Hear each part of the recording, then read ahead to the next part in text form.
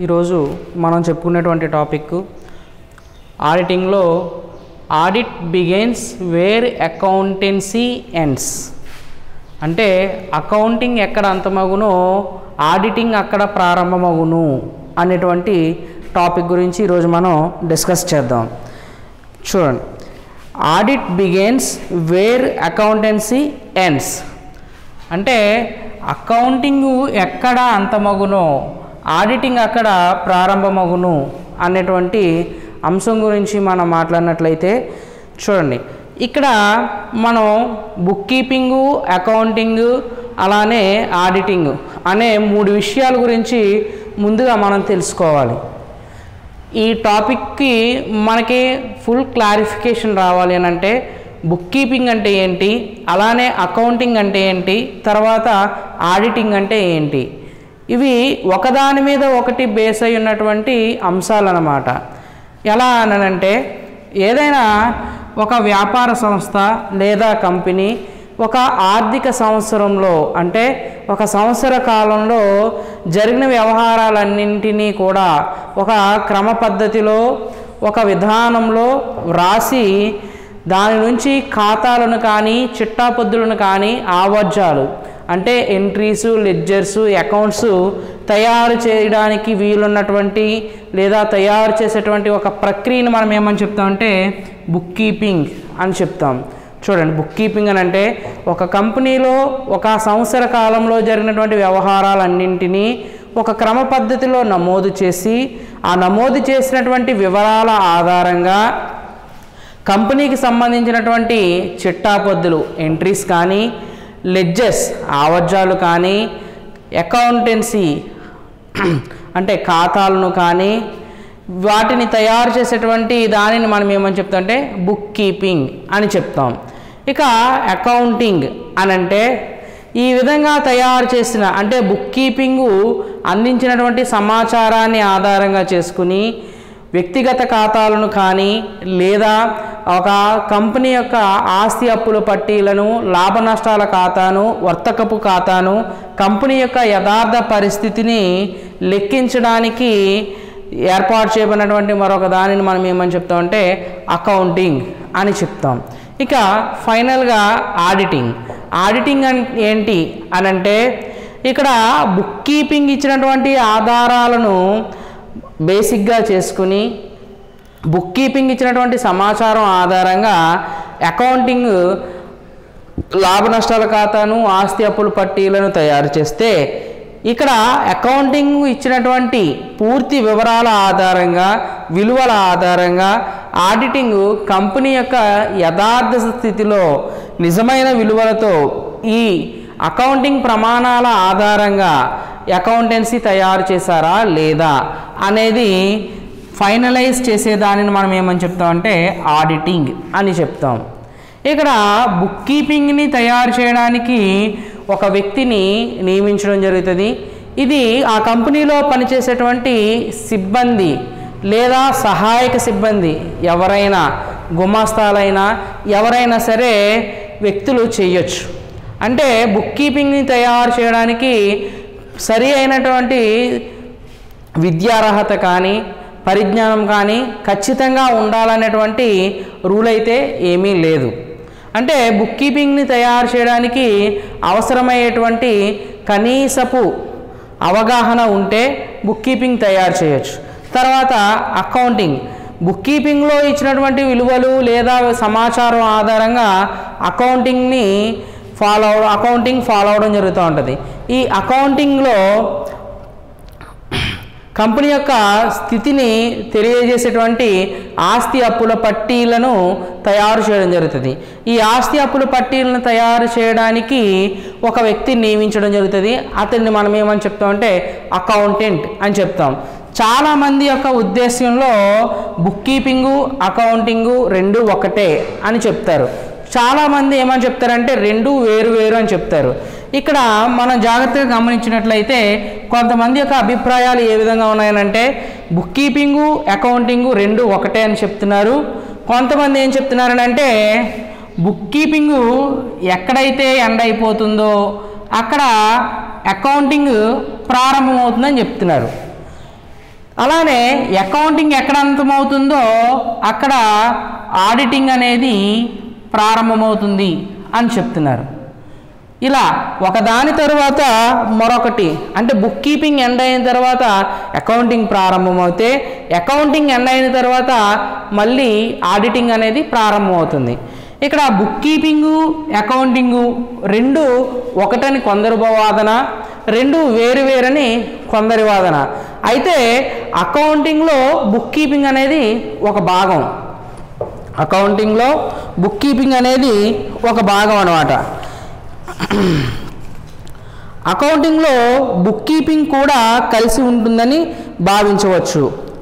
గణక శాస్త్రము అకౌంటెన్సీలో పుస్తకాల నిర్వహణతో పాటు గణక పద్ధతిని రూపొందించడం ఆర్థిక నివేదికలు తయారు చేయడం ఆడిట్ కాస్టు అధ్యయనాలు బడ్జెట్లు తయారు చేయడం మొదలగు అనేక పనులు చేరి ఉంటాయి. అకౌంటెన్సీలో ఏమేమి ఉంటాయనంటే ఒక కంపెనీకి సంబంధించినటువంటి విలువలను గణన చేయడం అలానే పుస్తకాలు నిర్వహించడం ఆ కంపెనీకి ఆర్థిక నివేదికలను తయారు చేయడం ఇవన్నీ కూడా అకౌంటింగ్లో కలిసి ఉంటాయి.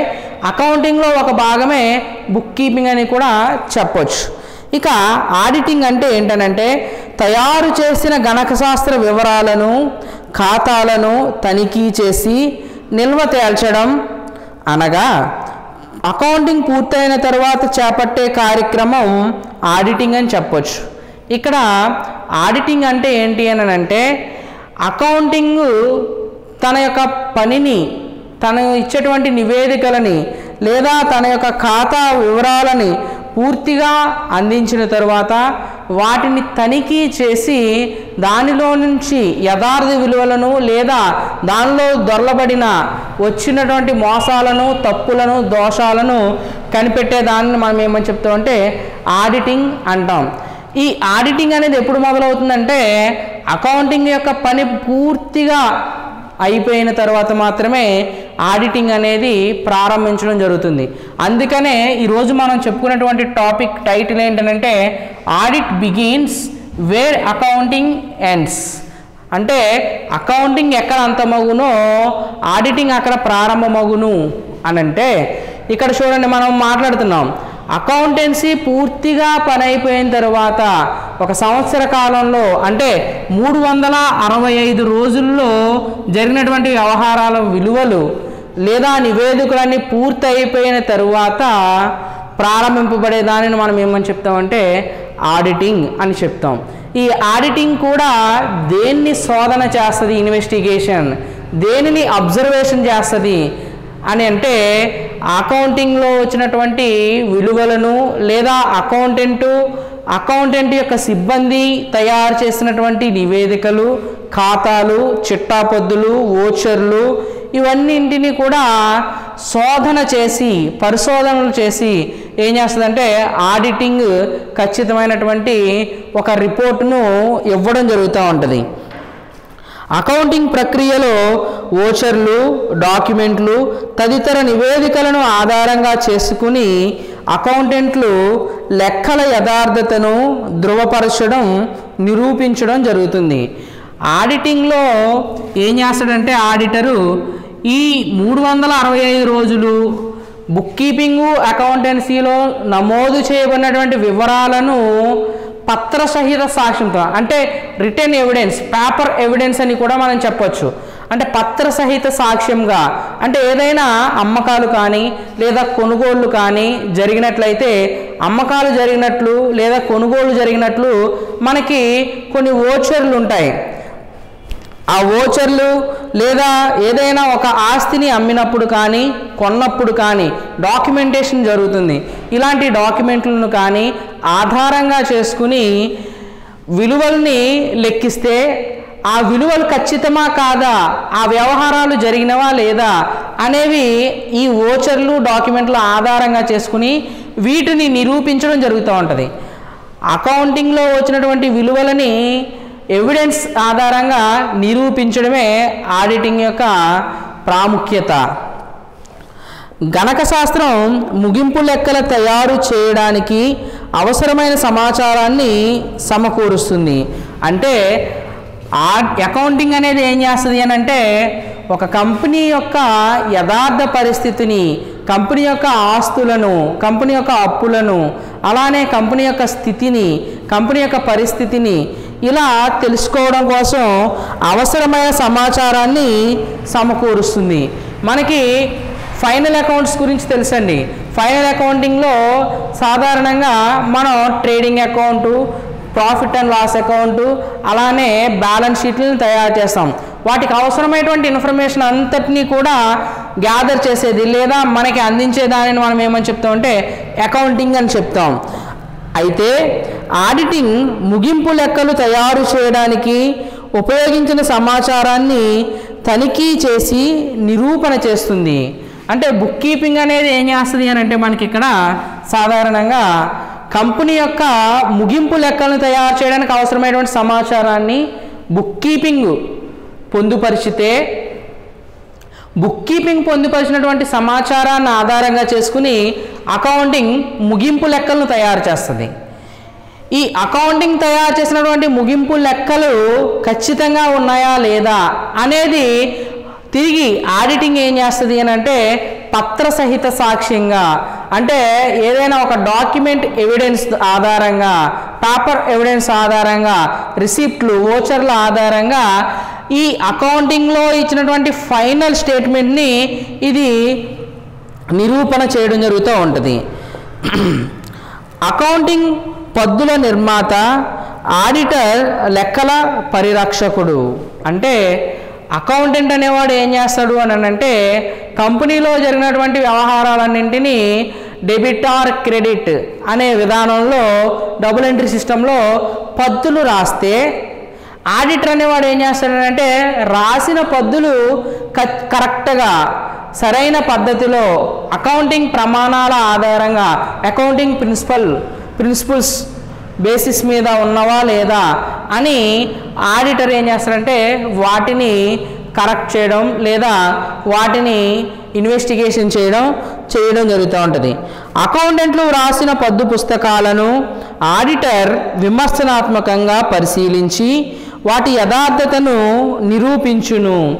అంటే ఇక్కడ అకౌంటెంట్ తయారు చేసినటువంటి వివరాలను లేదా ఖాతాలను ఆడిటర్ క్షుణ్ణంగా పరిశీలించి అందులో ఉన్నటువంటి తప్పులను లేదా జరిగిన మోసాలను విమర్శనాత్మకంగా వివరించి వాటి యథార్థతను తేల్చేవాడిని ఆడిటర్ అని చెప్తాం. కాబట్టి వ్యాపార లెక్కల తయారీ పూర్తయిన తరువాతనే ఆడిటింగ్ ప్రారంభమగును అని చెప్పొచ్చు. అంటే ఇక్కడ అకౌంటింగ్ పూర్తయిపోయిన తరువాత అంటే ఇక్కడ అకౌంటింగ్ పూర్తయిపోయిన తరువాత ఆడిటింగ్ ఏమవుతుందంటే ప్రారంభమవుతుంది. అకౌంటింగ్ మధ్యలో ఉండగా లేకపోతే మొదటి దశలో కానీ చివరి దశలో కానీ ఎలాంటి ఇన్వాల్వ్మెంట్లోకి ఆడిటర్ రాడండి. ఆడిటర్ అనేవాడు ఎప్పుడు వస్తాడు? ఆడిటింగ్ అనేది ఎప్పుడు జరుగుతుంది? అని అంటే కంపెనీ యొక్క వ్యవహారాలన్నీ పూర్తయిపోయి ఆ ఆర్థిక సంవత్సరం అంతా అయిపోయిన తర్వాత ఫైనల్గా ఫైనల్ అకౌంట్స్ని తయారు చేసిన తర్వాత ముగింపు లెక్కలను తయారు చేసిన తర్వాత నూతన సంవత్సరంలోనికి వెళుతూ ఉన్నప్పుడు ఆడిటింగ్ అనేది గతించిన సంవత్సరం యొక్క విలువలని లెక్కించడం జరుగుతూ ఉంటుంది. కంపెనీ అకౌంటెంట్లకు అకౌంటింగ్ పరిజ్ఞానం ఉంటే చాలు. అంటే ఒక కంపెనీలో బుక్ కీపింగ్ రాయాలన్నా అకౌంట్స్ తయారు చేయాలన్నా కనీసం అకౌంటింగ్ యొక్క ప్రమాణాలు లేదా అకౌంటింగ్ యొక్క సూత్రాలు లేదా అకౌంటింగ్కి సంబంధించినటువంటి పరిజ్ఞానం తెలుసుంటే చాలు. కానీ ఆడిట్ ఆడిటర్కు అకౌంటింగ్ పరిజ్ఞానంతో పాటు ఆడిటింగ్ పరిజ్ఞానం కూడా ఉండాలి. ఆడిటర్ అనేవాడు ఖచ్చితంగా ఏమేం కలిగి ఉండాలి అని అంటే అకౌంటింగ్ సంబంధించినటువంటి పరిజ్ఞానంతో పాటు ఆడిటింగ్కి అవసరమైనటువంటి పరిజ్ఞానాన్ని కూడా కలిగి ఉండాలి. ఇక్కడ మనం జాగ్రత్తగా గమనించినట్లయితే వీరికి ఏ విధమైనటువంటి విద్యార్హత ఉన్నా లేకపోయినా అర పరిజ్ఞానం ఉంటే అకౌంటింగ్ పరిజ్ఞానం ఉంటే బుక్ కీపింగ్ గాను లేదా అకౌంటెంట్లు గాను సెటిల్ అయిపోవచ్చు. కానీ ఒక వ్యక్తి ఆడిటర్గా మారాలి అని అంటే ఆ వ్యక్తి ఖచ్చితంగా తన యొక్క క్వాలిఫికేషను సిఏ చార్టెడ్ అకౌంటెంట్ అయి ఉండాలన్నమాట. ఇక్కడ అకౌంటెంట్కి ఆడిటింగ్ పరిజ్ఞానం ఉండక్కర్లేదు. అకౌంటెంట్కి ఆడిటింగ్కి సంబంధించినటువంటి పరిజ్ఞానం ఉండక్కర్లేదు. కానీ ఆడిటర్కి మాత్రం అకౌంటింగ్ పరిజ్ఞానంతో పాటు ఆడిటింగ్ పరిజ్ఞానం కూడా ఉండాలి. అంటే వీళ్ళకి నో ఎడ్యుకేషన్ క్వాలిఫికేషన్ అని చెప్తున్నాం. అంటే అకౌంటెంట్కి ఎలాంటి విద్యార్హత ఉండనవసరం లేదు. కేవలం తనకు సంబంధించి ఒక పరిజ్ఞానం మాత్రం తెలుసుంటే చాలు. కానీ ఆడిటర్ ఖచ్చితంగా ఏం చేయాలంటే సిఏ చార్టెడ్ అకౌంటెన్సీ చదివి ఉండాలి. అకౌంటెంట్లు కంపెనీ పరిపాలకులచే నియమింపబడతారు. అంటే అకౌంటెంట్లు అనేవాళ్ళు ఎవరని చెప్తున్నారంటే కంపెనీలో పనిచేసేటువంటి ఉద్యోగి వాజ్ ఏ పర్మనెంట్ ఎంప్లాయ్ అని చెప్పొచ్చు అనమాట కంపెనీకి అకౌంటెంట్లు అనేవారు ఎలాంటి వాళ్ళనంటే కంపెనీ యొక్క శాశ్వత ఉద్యోగులు అని చెప్పొచ్చు. అంటే ఒక ఆర్థిక సంవత్సరంలో లేదా కంపెనీ కొనసాగినంత కాలం కూడా ఒకే వ్యక్తిని అకౌంటెంటుగా కొనసాగించడానికి అవకాశం ఉంటుంది.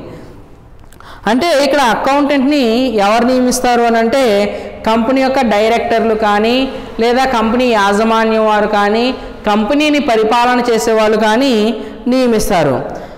అందువల్ల కంపెనీలో ఉండేటువంటి యజమానులు అంటే ఈ అకౌంటెంటుని ఎవరైతే నియమించారో వాళ్ళకే అనుగుణంగా వాళ్ళ ఆదేశాలకు లేదా వాళ్ళ నిర్దేశాలకు జవాబుదారీగా ఉంటాడనమాట అంటే అకౌంటెంట్ అనేవాడు ఎవరి చేత నియమింపబడ్డాడో వాళ్ళకే సపోర్టింగ్గా వాళ్ళు చెప్పినటువంటి విధానంలో కంపెనీ యొక్క లెక్కలను గణక గణన చేయడం జరుగుతూ ఉంటుంది. ఇక మరి ఆడిటర్ అనేవాడు ఎవరి చేత నియమింపబడినా వాటాదారుల యొక్క పరిరక్షణ కొరకు తను నిరంతరం శ్రమించాలి. సాధారణంగా ఆడిటర్ని ఎవరి ద్వారా నియమించవచ్చు అనంటే కంపెనీ యాజమాన్యం ద్వారా నియమించవచ్చు కంపెనీలో ఉండేటువంటి వాటాదారుల ద్వారా నియమించవచ్చు కొన్ని కొన్ని సందర్భాలలో గవర్నమెంట్ ప్రభుత్వం ద్వారా కూడా కంపెనీ ఆడిటర్ని నియమించవచ్చు అన్నమాట. ఇక్కడ కంపెనీలో ఆడిటర్ని ఎవరు నియమిస్తారనంటే వాటాదారులచే నియమింపబడతాడు. అందువలన కంపెనీలో ఉన్నటువంటి లోపాలను కానీ మోసాలను కానీ లేదా జరిగినటువంటి తప్పులను కానీ అన్నింటినీ కూడా ఒక నివేదిక రూపంలో ఆడిటర్ ఎవరికి ఇవ్వాలి అని అంటే వాటాదారులకి ఒక రిపోర్టును ఇవ్వాలన్నమాట. తర్వాత అకౌంటెంట్లు తాము తయారు చేసిన ముగింపు లెక్కలకు సంబంధించి యాజమాన్యమునకు ప్రత్యేకంగా నివేదికను సమర్పించవలసిన అవసరం ఉండదు. ఇక్కడ చూడండి అకౌంటెంట్లు అనే వాళ్ళు ఏం చేస్తారనంటే ఫైనల్ అకౌంట్స్ తయారు చేయడం జరుగుతూ ఉంటుంది. ఈ ఫైనల్ అకౌంట్స్ తయారు చేసిన తర్వాత స్పెసిఫిక్గా ఆ ఒక రిపోర్టుని లేదా ఒక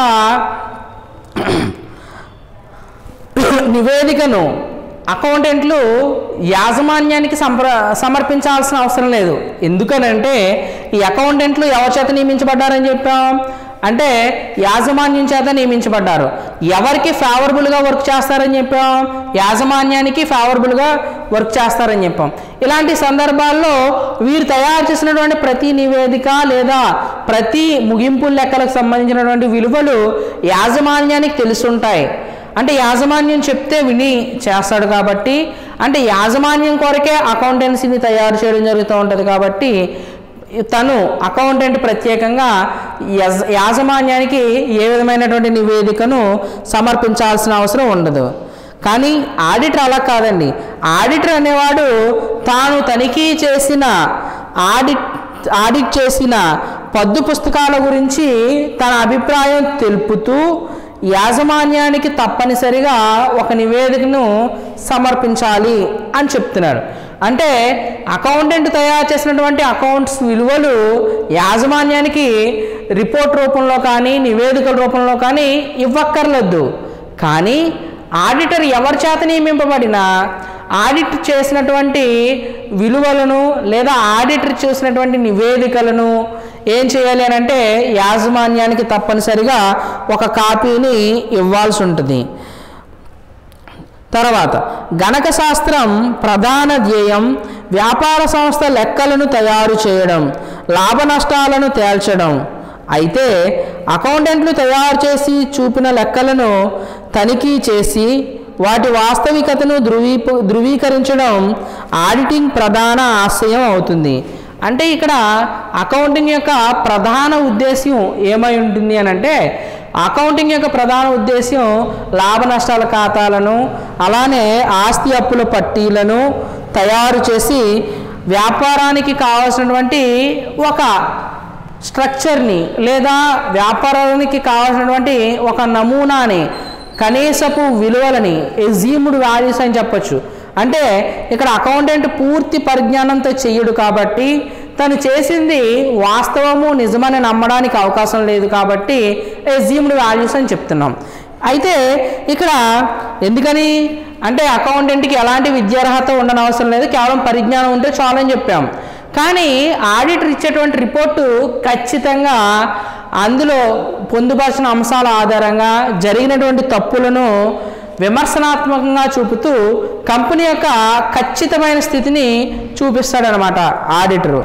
అంటే ఇక్కడ అకౌంటెంట్లు అనేవాళ్ళు ఏం చేస్తారనంటే కంపెనీకి అవసరమయ్యేటువంటి లాభ నష్టాల ఖాతాలను లెక్కలను తయారు చేస్తే ఆడిటర్ అనేవాడు ఏం చేస్తాడు అని అంటే ఈ తయారు చేసి చూపిన లెక్కలను తనిఖీ చేసి అంటే ఆడిటరు ఈ అకౌంటెంట్ ఇచ్చినటువంటి ముగింపు లెక్కల సమాచారాన్ని తనిఖీ చేసి వాటిని వాటి వాస్తవికతను ధృవీకరించి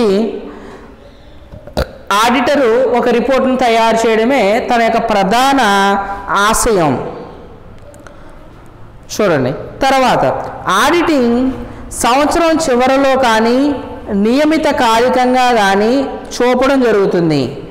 అంటే ఆడిటింగ్ అనేది సాధారణంగా మనం టైటిల్లో ఏమని చెప్పామండి? Audit begins where accounting ends. Accounting ఎక్కడ అంతమవుతుందో ఆడిటింగ్ అక్కడ ప్రారంభమగును అని మనం చెప్తున్నాం. అంటే ఇక్కడ కొన్ని కొన్ని సందర్భాలలో నియమిత కాలం అంటే ఒక సర్టెన్ టైంని అంటే ఒక ఇయర్కి ట్వెల్వ్ మంత్స్ అయితే కనుక పన్నెండు నెలలు అయితే నియమిత కాలం అంటే సిక్స్ మంత్స్ కావచ్చు లేదా త్రీ మంత్స్ కావచ్చు లేదా ట్వెల్వ్ మంత్స్ కావచ్చు. ఇలా ఆరు నెలలకి కానీ మూడు నెలలకు కానీ లేదా సంవత్సరం చివరన కానీ ఖచ్చితంగా నియమిత కాలంలో ఏం చేయాలని అంటే ఆడిట్ రిపోర్ట్ అనేది తయారు చేయాలి. సంవత్సరానికి ఒకసారి మాత్రమే ఆడిట్ రిపోర్ట్లు అనేవి తయారు చేయడం జరుగుతూ ఉంటుంది. కానీ అకౌంటింగ్ కార్యక్రమం సంవత్సరం పొడవునా కొనసాగుతూ ఉంటుంది. ఇట్స్ ఏ కంటిన్యూస్ ప్రాసెస్ అంటే అకౌంటింగ్ అనేది ఫర్ ఎగ్జాంపుల్గా మనం మాట్లాడినట్లయితే ఒకటో తారీఖు ఒకటో నెల రెండు వేల ఇరవై ఒకటి ఈ ఇయర్ని మనం ఎగ్జాంపుల్గా తీసుకున్నట్లయితే ఒకటో తారీఖున ఒకటో నెల మొదలుకుని ముప్పై ఒకటవ తారీఖు పన్నెండవ నెల రెండు వేల ఇరవై ఒకటి వరకు. అంటే ఈ మధ్యలో ఉన్నటువంటి ఈ పన్నెండు నెలల కాల వ్యవధి మూడు వందల అరవై ఐదు రోజులు కూడా ఒకే పద్ధతిన కంటిన్యూస్ ప్రాసెస్ నిరంతరం కొనసాగేటువంటి ప్రక్రియను మనం ఏమని చెప్తామంటే అకౌంటింగ్ అని చెప్తాం. Yearly once or two times మాత్రమే జరిగితే కనుక దాన్ని మనం ఏమని చెప్తామంటే ఆడిటింగ్ అని చెప్తాం. సాధారణంగా ఆడిటింగ్ అనేది సంవత్సరం చివరన అకౌంటింగ్ ఎండ్ అయిపోయిన తర్వాత మాత్రమే చేస్తారు. భారీ తరహా వ్యాపారాలు చేసేటువంటి పరిశ్రమలు కానీ వ్యాపారస్తులు కానీ నియమిత కాలంలో సర్టెన్ టైం పీరియడ్లో కొన్ని కొన్నిసార్లు ఆడిటింగ్ చేయించుకోవడం జరుగుతూ ఉంటుంది. అకౌంటెంట్ అనేవాడు మాట్లాడామండి. కంపెనీ యొక్క శాశ్వత ఉద్యోగి అని చెప్తున్నాం. ఇతనికి ప్రతి నెల జీతం అనేది రావడం జరుగుతూ ఉంటుంది. కానీ ఆడిటరు కంపెనీ యొక్క ఉద్యోగి కాదు. ఈ సంవత్సరం ఈ కంపెనీని ఆడిట్ చేసినటువంటి వ్యక్తి నెక్స్ట్ ఇయర్ కూడా అదే వ్యక్తి అదే కంపెనీని ఆడిట్ చేస్తాడని చెప్పలేం. కంపెనీ యాజమాన్యానికి వాటాదారులకి అంగీకారం అయితే ఈ సంవత్సరం చేసినటువంటి ఆడిటరు తదుపరి సంవత్సరం అంటే నెక్స్ట్ ఇయర్ రావచ్చు. అంటే ఇక్కడ ఆడిటర్ అనేవాడు కంపెనీ యొక్క శాశ్వత ఉద్యోగి కాదనమాట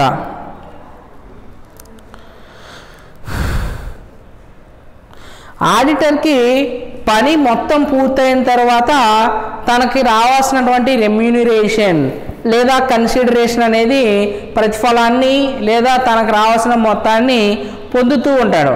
పనంతా అయిపోయిన తర్వాత.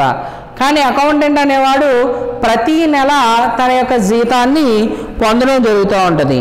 అకౌంటెంట్లకు ఆడిటింగ్ బాధ్యతను ఏ పరిస్థితులలో అప్పజెప్పడం కనబడదు. అంటే అకౌంటెంట్కి ఎలాంటి విద్యార్హత ఉండని అవసరం లేదు. పరిజ్ఞానం ఉంటే చాలంటున్నాం అంటే ఈ అకౌంటెంట్ చేసినటువంటి లెక్కలు సరైనవని మనం నమ్మలేం. అందువలనే ఆడిటర్ని నియమించుకుంటాం. ఇక్కడ మనం ఇప్పుడు డిస్కస్ చేసేటువంటి ఈ పాయింట్లో అకౌంటెంట్కి ఏం అప్పగించలేమని చెప్తున్నాడండి?